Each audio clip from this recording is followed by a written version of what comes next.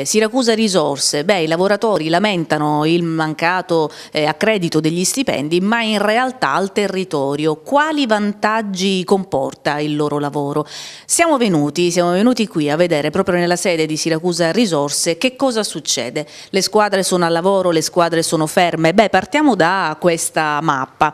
Eh, vedete, queste sono le squadre che in questo momento, questa mattina, proprio mentre vi parlo, si trovano al lavoro. Non siamo oh, fermi in attesa che arrivino i soldi e che pure le, eh, le, proteste dei lavoratori a cui va tutta la solidarietà perché quando non si pigliano stipendi per 5, 6 mesi, 7 mesti e io voglio ricordare che questi lavoratori intanto sono, oh, lavorano a orario ridotto 30 ore settimanale e che lo, il salario medio si aggira attorno a 1.000-1.100 euro e il 90% di questi lavoratori sono monoreddito, quindi voi capite che quando per 5, 6 mesi, 7 mesi non si piglia lo stipendio c'è il dramma vero in una, in una casa. La partecipata regola eh, i rapporti con l'ente promotore con un normalissimo contratto commerciale in cui sono previsti gli obblighi, i servizi che dobbiamo garantire e il corrispettivo complessivo che ste lo stesso ente deve erogare. Ma molto spesso capita, specie in questo periodo,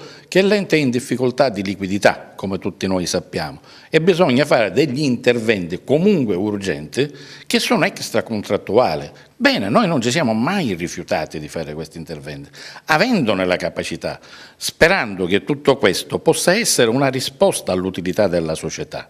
Quando si dice che la società costa qualche milione di euro, io mi chiedo, ma se si dovessero fare degli interventi tutti all'esterno, tutti all'esterno, quanto costerebbe?